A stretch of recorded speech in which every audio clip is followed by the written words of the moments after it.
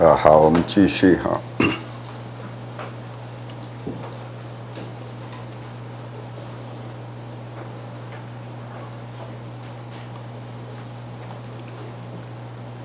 好，如乐受、苦处、喜处、忧处、舍处，因缘生舍受。这里是简化啊，就是说乐受因缘生。啊，那么这个处苦苦处、喜处、忧处啊，那么当他这些处舍的时候，那么这个受啊也就跟着舍了。所以舍受觉时，如实知舍受觉，彼舍处灭，故呃彼舍处因缘生舍受亦灭，指清凉喜莫，这跟上面都一样啊，只是从啊不同的一个角度啊，比如是思维，此受处生。处乐处福，比比乐处故，比比受乐；比比处乐灭，比比受乐亦灭。指清凉喜默，如是多闻圣弟子，于色生厌，于受想行识生厌。这个生厌的意思就是不再执着。啊，不再执着，了解了我们的受想行识啊，随着根尘处产生的一切作用，不管是苦受、乐受、喜受多好啊，只是怎么样，缘生缘灭啊，啊，缘生缘灭的都是无常非死啊，只是刹那刹那不住啊，我们只是被那种感受执着而已。啊，了解了它的真相，他就生厌，就是不执着。啊，厌故不乐，不乐故解脱，解脱之见。啊，所以其实啊，我们现在啊，修行到底在修什么？就是希望我们能离开对于一切法的执着而产生的苦乐二受，这样知道意思吧？灭苦啦。这一种苦啊，不是只有当下这一下子。你看哦，我们这一一刹那，当前这一刹那，如果没有解决，还是在执着里面，下一秒钟它还会再来，这样知道意思？它会相续，未来相续，死后更相续，这样知道意思吧？好。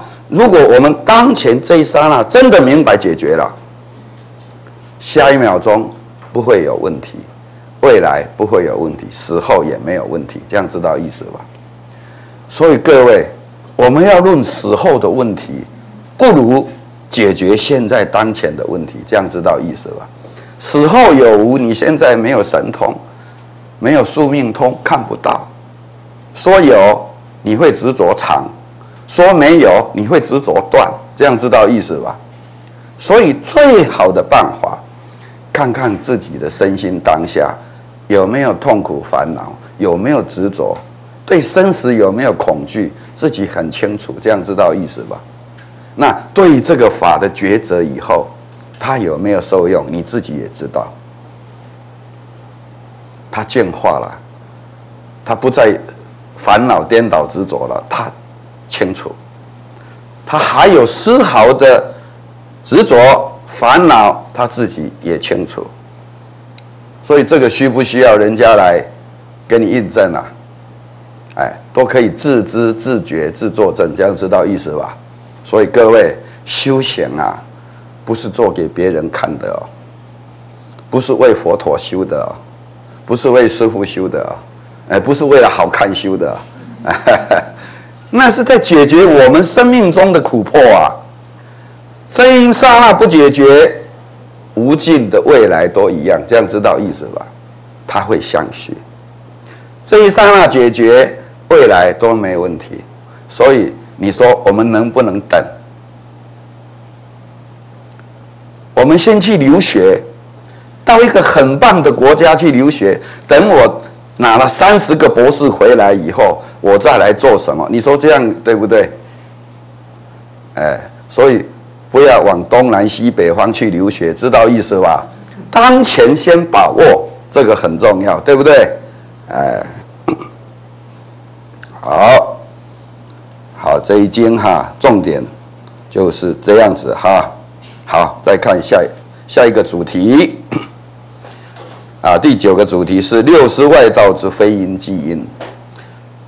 这个啊，如果我们不把它拿出来作为我们证件的比较，那么我们很多人啊，尤其是现在这个社会啊，整个社会啊，真的是怪力乱神呐，啊，充斥人间呐。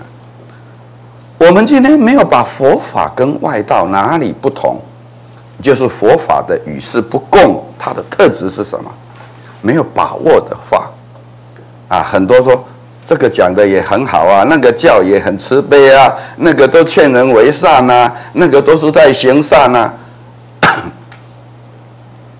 搞混了，佛法的正见不彰啊，啊，外道的非因即因呐，主杀不能成饭啊，要知道。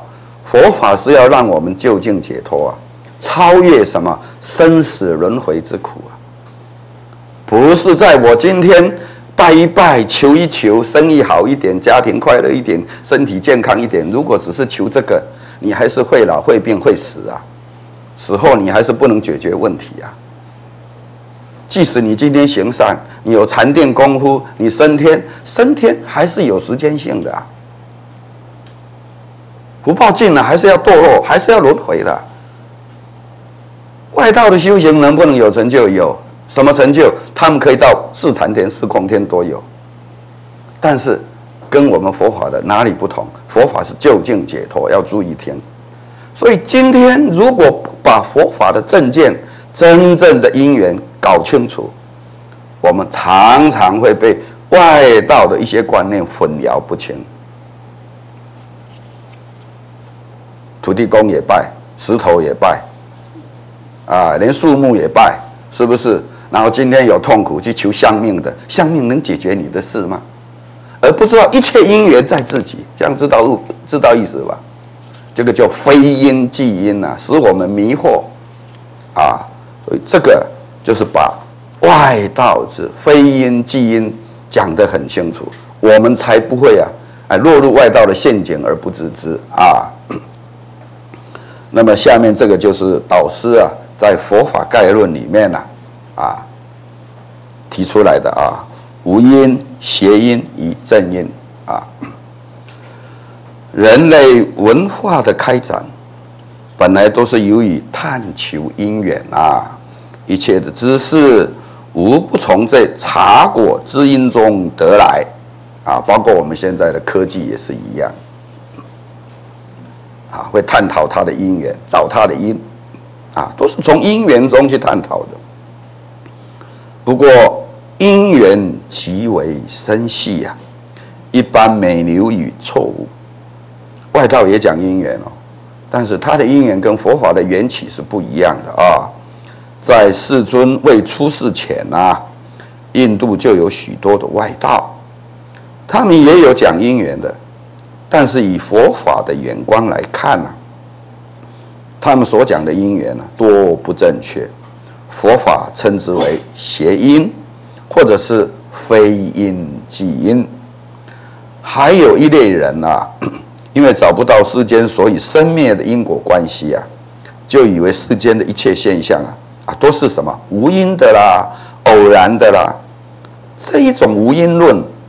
到底是不多了啊，比较多而难得教化的，要算是非因即因的谐音论啊。对于佛法，佛法对于这种非因即因的谐音论呢，多次不遗余力啊。这种非因即因是很严重的。你看我们讲因缘、讲缘起，好像很普普遍嘛。哦，因为有什么原因，所以会有什么结果，这个好像大家都很清楚。那我们为什么主杀不能成成犯呢？因为杀不是犯的因嘛，是不是？这个大家都很很清楚嘛。那我请问你，我们痛苦烦恼，我们会生死轮回相续，是什么原因？我们有没有搞清楚？我们大家都是佛弟子，都在修行，都要解脱。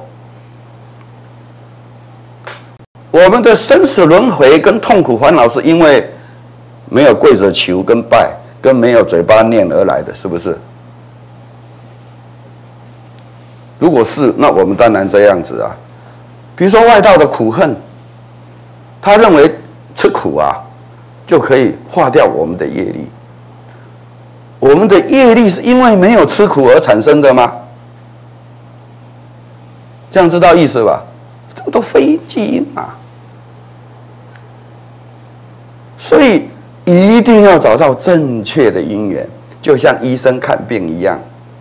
你今天身体真正发生病的原因，那个源头如果没有找到啊，啊，乱下药啊，病不但不会好，可能还会更严重。是不是这样？同样的道理，佛法这个因缘找到正确的因缘是非常重要的啊。所以为什么导师这里讲啊？对于非因即因的谐音论，我们佛法对它的驳斥是不遗余力的，因为这个一定要驳斥，一定要辨清，不然大家都被外道的非因即因而迷惑了嘛。好，那么下面有几个重点，第一就是宿作论，也就是宿命论啊，也可名为定命论。他们说啊，由于过去的业力。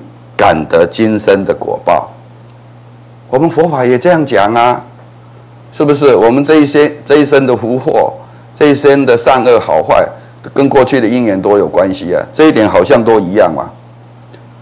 但以为世间的一切啊，无不是由前生业力招感的。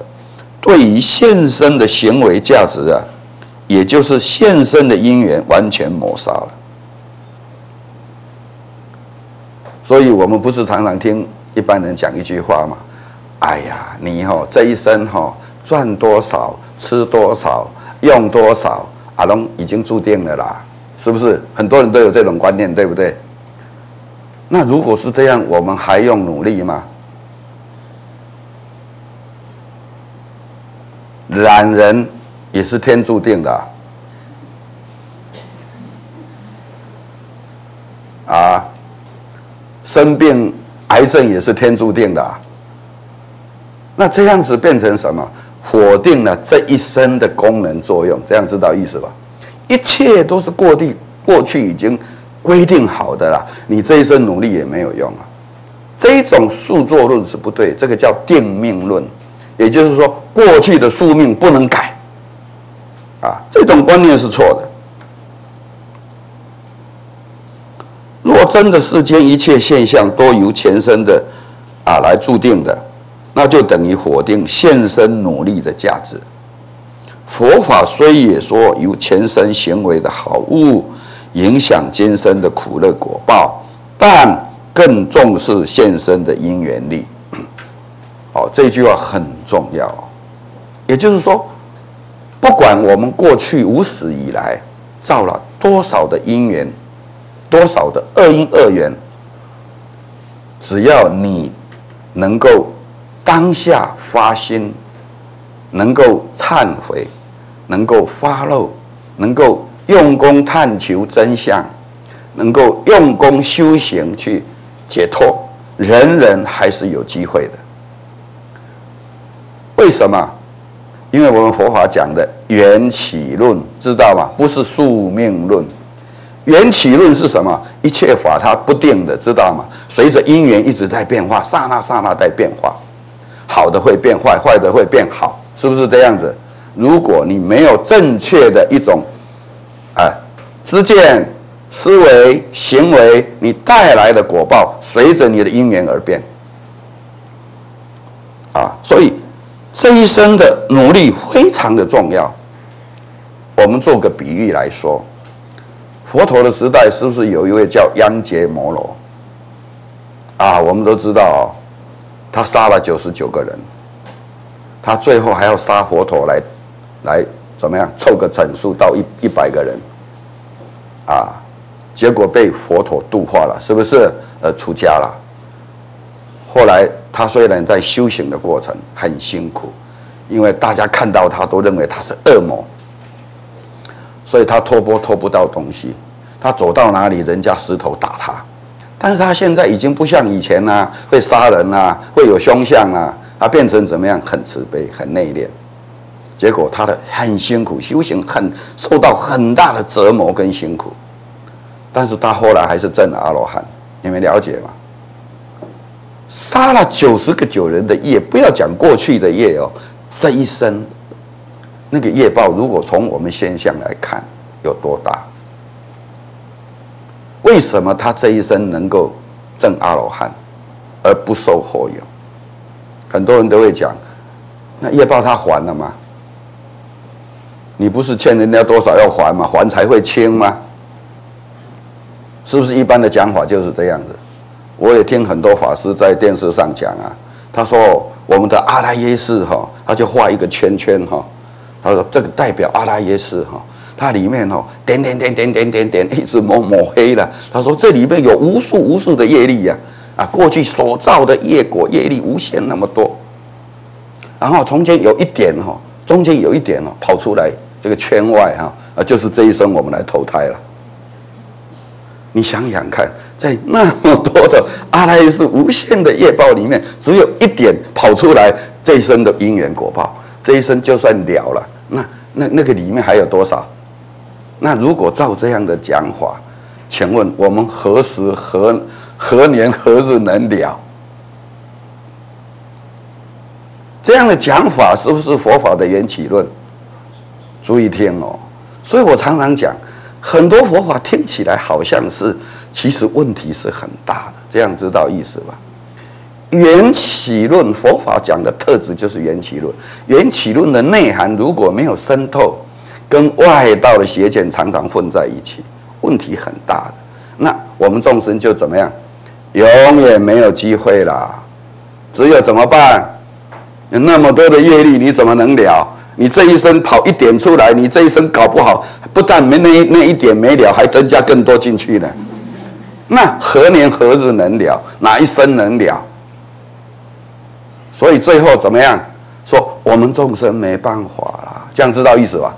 来一个，来一个总核定，我们众生绝对靠自力是没办法的，这样知道意思吧？因为越增加越多嘛，你不可能清净嘛。所所以最后只有一个办法，怎么办？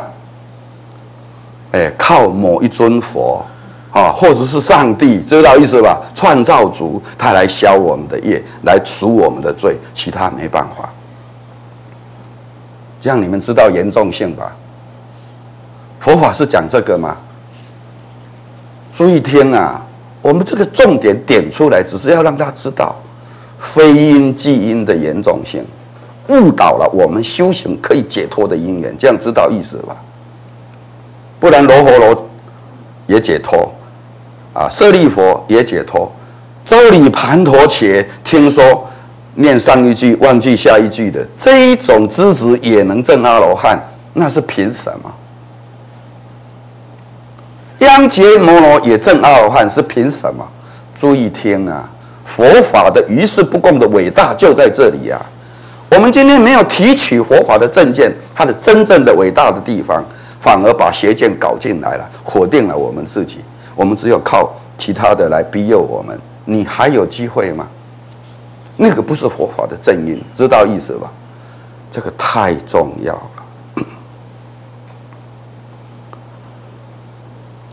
啊，导师就说啊，如小孩出生后，身体是健康的，或因为胡吃乱喝以致生病死亡，这能说是前生造造定的吗？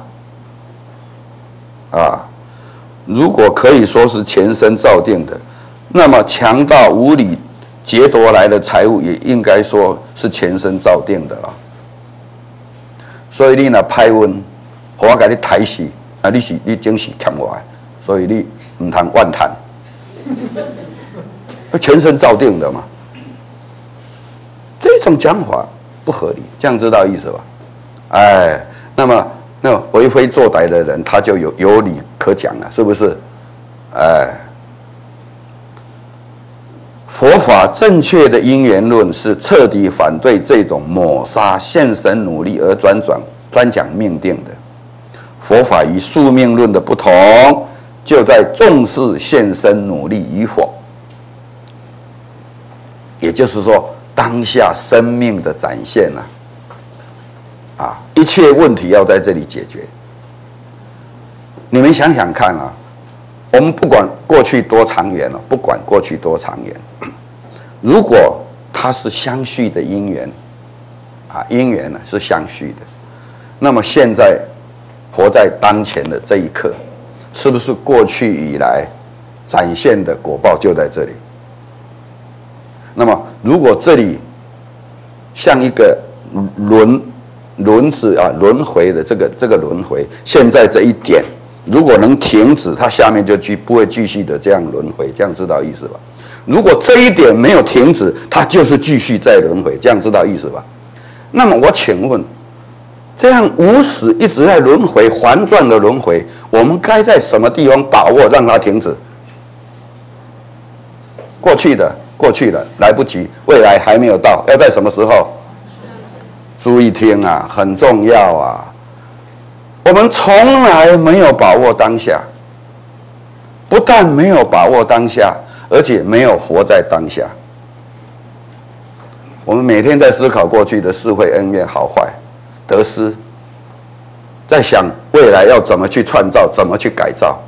有没有一个人真正的不落于过去，不落于未来？当下是如此的清净，如此的觉知，如此的明白，活在当前的一刻的人，这种人有没有？佛陀啦，圣弟子啦。我告诉你，我们就是要学这个。我们很少活在当下，表面上我们都活着，对不对？好像我们都很很清楚，对不对？我可以告诉你，真正活在当下很清楚的人很少，不是活在过去，就是活在未来；不是活在是非，就是活在未来的幻想。再一不客气一点，活在我们的习性惯性的幻象中，没有一个真正活着清净一秒钟，真正清净明白的人。这个叫佛陀讲的，不是我讲的哦。语痴无闻凡夫众生，这样骂的够惨吧？所以我们呢，无始以来都在扮演这种角色。所以今天我们学法真的很重要啊，把握到哦，佛之所以成佛，圣弟子之所以成圣弟子，佛证悟的是什么？他开示这些圣弟子们的法是什么？我们也要体会这个，我们要依法奉行。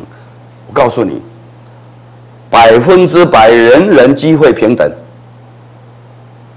而且人人发心，人人用功，人人把握正见，每一个人都可以成就。这个是必然的，注意听哦。我今天讲这个话不是狂妄，如果不是必然的哦，注意听哦。今天就不用修行，法没有必然性，这样知道意思吧？因为因果有它的必然性，这个是宇宙的真理法则。佛陀就是发现了，原来啊，因果啊，法有这样的必然性，他找到了正确的因跟缘，所以他知道了，而因此而切入，就是找到这个必然性哦。今天如果。正见正法不能让我们解脱，那我们信他干什么？所以注意听哦，学正法、学正法、学正见，依法而行，依法而正，确实是人人可证的，而且是必然的。如果不是佛法就不伟大。这一点，我在今天跟大家肯定的讲，是确实如此的。所以大家要珍惜，要好好把握这一生每一个当下每一刻。我们前面不是讲过吗？世尊正法律，理痴然；呃，现见法理痴然，不待时节，缘自觉知。有没有？这是佛陀讲的啊，是不是？每个当下都有因缘，是不是？不待时，不是一定要什么时候，就在生命的每个当下，啊，现见法，在生命当下如何去发现法的真相？这样知道意思吧？发现生命的实相，啊，在哪里发现？只有当下，离开当下没有机会哦。如果明白这个。为什么那些圣弟子每一次请佛开示回去，他就说我会怎么样独一静处专精思维啊？为什么？因为他不能离开当下，他不能等。我告诉你，等待的人永远达不到。等待明天，永远有一个明天，这样知道意思吧？等待的人永远没有机会。要把握每个当下因缘。当下随时都可以弃入，这个才是法的重点，啊，大家要记得。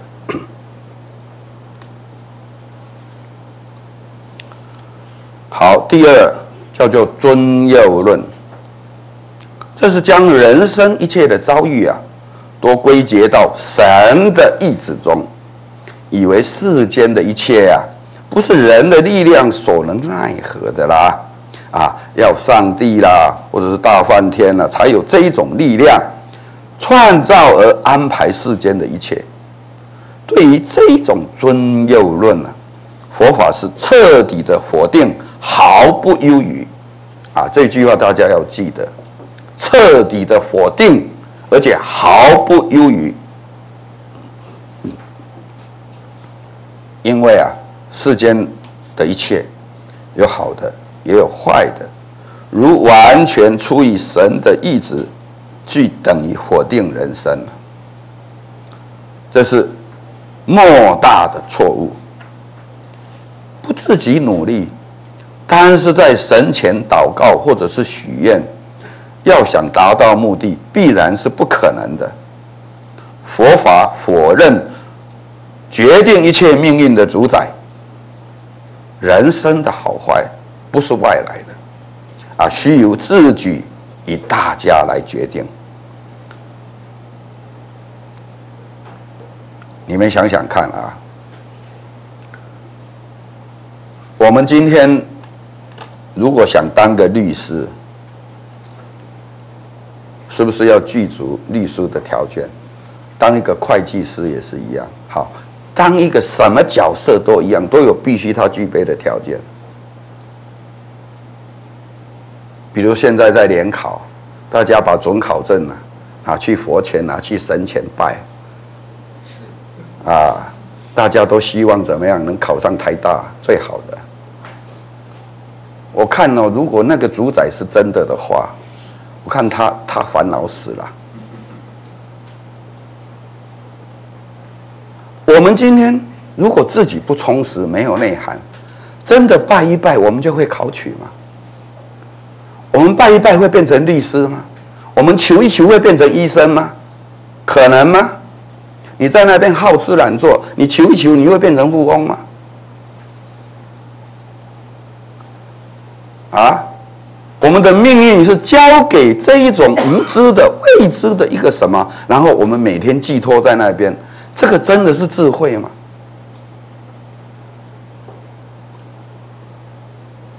真的。今天如果不学法，不学缘起法，没有佛法的正见，你看我们整个社会现在的一个生态是什么样一个生态？是不是都在怪力乱神里面？我们感到痛心的是什么？就是看到社会整个这样的一个社会现象，感到痛心的是我们伟大的佛法竟然在社会上是这样的不明显。也就是政见不彰，没有普遍的在社会让人家明白。如果今天我们佛法的政见在社会上是普遍的教育，家家户户每个人都有熏习这样的政见，这些外道的怪力乱神能存在吗？今天要净化这个社会。是不是应该把佛法的正见散播人间？每个家庭最好都有机会来学习，不是少数人几个博士硕士在上面唱高调，这样知道意思吧？普遍的社会进化，一定要普遍的正见宣扬到每个角落。所以你们要知道，今天的社会是这样子，我们身为佛弟子的，真的要有一份的责任。我们怎么样把佛法的正见？想办法散播到人间的每个角落、每个家庭，让众生都有机会闻法、听到正见，不再受迷惑。是不是我们社会就不会被那些怪力乱神、那些神棍来骗？整个社会好可怜，大家都在痛苦中、烦恼中，哪一个能够因为得法而受用呢？所以我们要知道。今天修行，我们不是为了唱高调。我今天得了什么通？我今天得了什么定？我今天境界多高？我请问，于是何补？于世界有何什么利益？我们今天真的当务之急，就是怎么样的散播正见到社会民间的每个角落。我认为这个是最重要的。唯有正见普遍，世间都能接受明白的时候。这个世间才有净化的机会，每一个人也才有解脱的因缘。散播这个种子重要不重要？注意呀，不是只有我们个人的利益。今天这一件事情大家不重视，只注重个人的发展，请问这个人间哪一天能净化？真正的菩萨的话，要把握重点。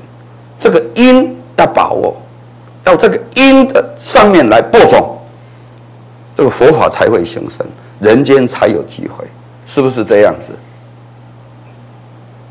所以今天我们在这里上课，我常常讲，我并不是为了眼前这些人上课而已，我们今天主要就是在拍摄。你知道我们为什么要做这些影带 DVD？主要就是希望他。能够散播到每个家庭、世界的每个角落，让这个证件呢，能让每一个地方的人都有机会听到，这个就是我们要做的。所以有的人不理解，你们什么条件想要做到这样子？对我们确实没有那些条件，但是我们有那个愿力，我们默默的一路走来到今天，哎，慢慢有一点小小的基础。所以我呼吁大家，不要只看眼前的利益，不要只自私的为个人的解脱而已，更要把正见散播人间，这个是很重要很重要，我们佛法才不会被外道而消灭。你们知道，印度佛教灭了，现在要复兴起来很难。佛教在印度是发源地，这么伟大的一个宗教在印度灭了，你们知道这是一个多么严肃的问题？你们知道吗？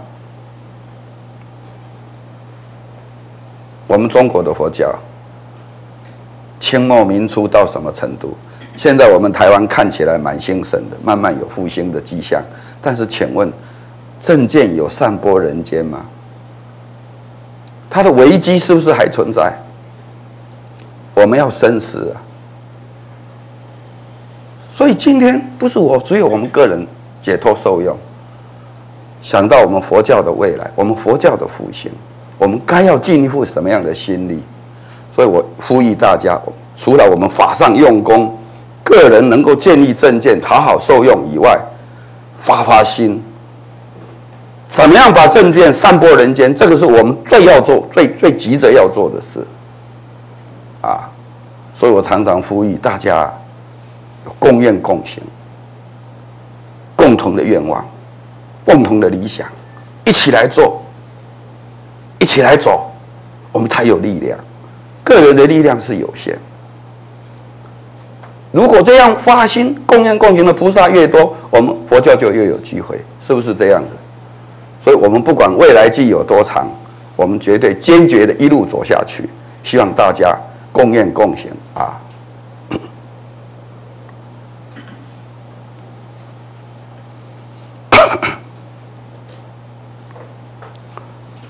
所以，以上所说的两类思想啊，在佛法长期的流变中。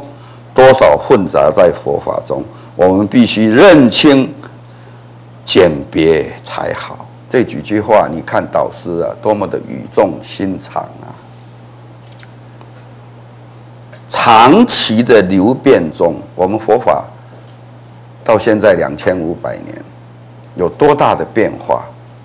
什么样的思想，什么样外道的思想混进来了？我们一定要抉择清楚。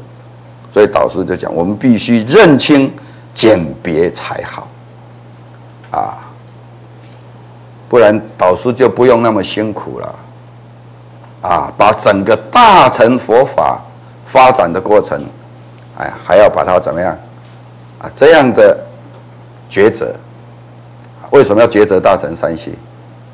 为什么要抉择部派佛教？为什么要抉择根本佛法的特质？就是要让我们认清什么是佛法的正知见，什么是佛法的源头。没有认清这个，外道混进来也不知道。好，佛法本身内部生虫啊，腐烂了，外面稍微啊一影响灭了，就是这样。所以导师说，务必自腐而重生啊。佛法内部思想没有问题，知见没有问题。今天外道怎么样的来啊影响我们，我们也不会被灭的。但是今天佛法为什么在印度会灭？我们本身的思想已经有问题了，知道意思？这个叫长期流变中多少混杂在佛法中。你看导师这样短短几句话，对不对？二三十个字，你知道导师？一生就为这几个字而奋斗，而抉择佛法，把一生的生命智慧都奉献进去了。你们几个了解？你们知道导师是为什么而做抉择佛法？他有多伟大？他智慧有多伟大？你们都体会不到的事，就是在这里。除此两种谐音论而外，有的也谈姻缘，也注重自作自受，但还是错误的。像印度的苦恨外道们，以为现在生中多吃些苦啊，未来既能得乐。其实这苦是冤枉吃的啦，因为无意义的苦恨与自己所要求的目的毫没有一点因果关系，这也是非因即因呐。这可见一般一些人表面上好像是谈姻缘哦，啊，就其实都是邪淫。吃苦将来就能得乐，那牛一定解脱了，是不是？以前的牛哈，是不是很苦啊？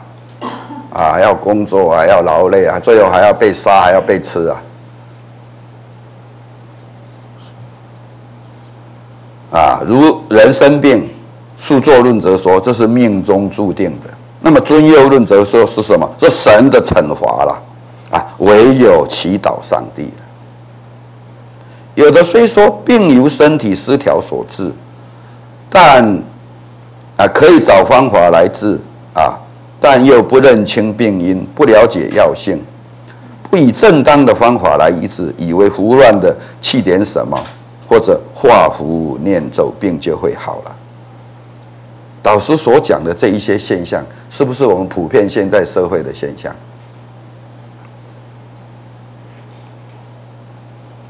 佛说一切现象无不是有因果性的啊，要求正确而必然的因果关系，不可笼统的讲因缘。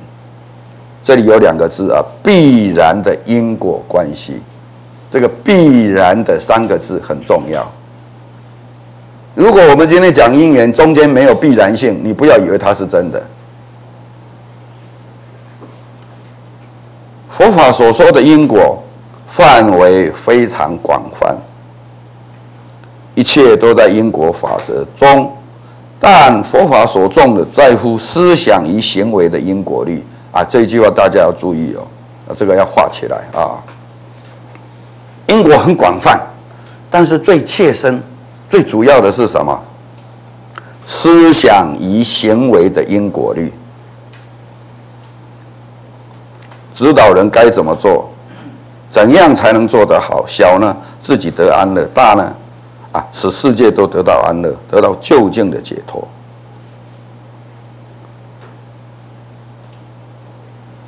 思想与行为的因果律，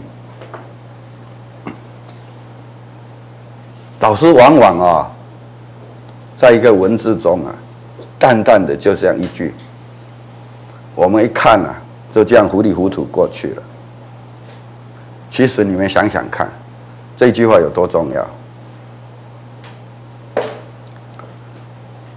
我们今天的一切行为，生与欲的行为，会造成我们的痛苦烦恼，还有生死相续不断的条件，是从哪里来的？观念思想，知道吗？今天一切的行为造作，里面有一套思维模式，这个是观念思想。我们佛法叫知见。这个知见，如果因果没有必然性的那个知见，对你是没有利益的。所以，我们修行佛法讲八正道，第一个为什么叫正见？第一要导正我们的观念思想，是不是这样的？我常常用电脑比喻，我们讲很多次了。电脑的软体程式就像我们输进去的思想、观念、知见，它出来的功能啊，就一定的。什么样输进去的软体程式啊，它出来的功能就是跟那个软体程式相应，是不是这样的？我们也是一样哦。为什么每一个人习性不同？为什么每一个人行为观念不同？因为它里面的思想之见不同。也就是说，你所接受的观念思想影响到你的身心行为。那么主要就是思想的问题喽，只要就是知见的问题了。我们现在有几个人真正认清我们里面那一套软体，有没有？就是我们的思维模式，我们输进去的软体根据什么而放射出来的那个指令，让我们产生生与意的行为。你里面那一套软体思维模式，你们有没有一个人真正认识自己那一套的？有没有？没有，我敢讲没有。那你说我们的行为能不能一定跟正见相应？所以我为什么我们一直痛苦烦恼生死相续不断？这样知道意思吧？我们在错误的知见中，在幻象中，在习性中，自以为是中，我们认为我们看到、听到、想到的都是对的，其实我们看到只是都表面很肤浅的，都没有看到。一切包括身心，一切万法的真相，内在的实相，我们都没有，从来没有认识过。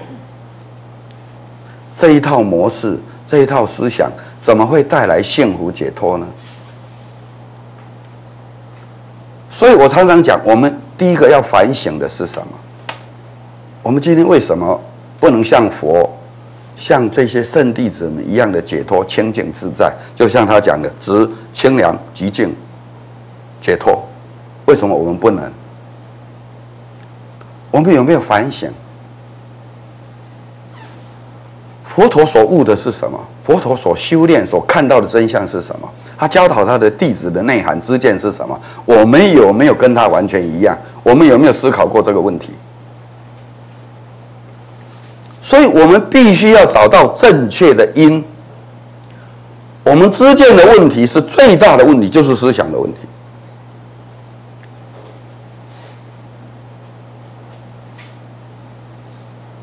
所以我们有没有一个人真正的从内心，尤其是我们的思维模式、我们的知见、我们的意识活动的表面意识到潜意识内在的这些条件，我们真的曾经观察过吗？我们真的了解吗？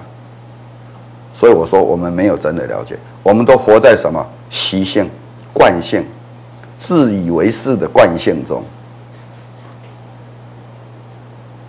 所以修行第一，为什么要上课？要建立正确的知见，这个叫正知见。正知见有什么功能？先破见惑，知见上的错误、观念的错误，你会比较，你会去替代你过误错误的观念。当正确的观念接受的时候，我们错误的观念才会放弃。这个还是什么表面的。表面意识的部分，但是透过这个正见的熏习，我们才有机会去怎么样反省、观察、思维，深入去体察自己内在的条件，发现我们思维模式的问题，发现我们知见的问题在哪里。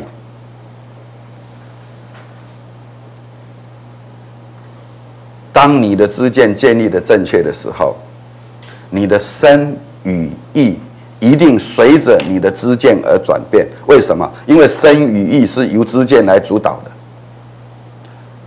知见转化了，身与意自动会随着知见而使用，是不是这样的？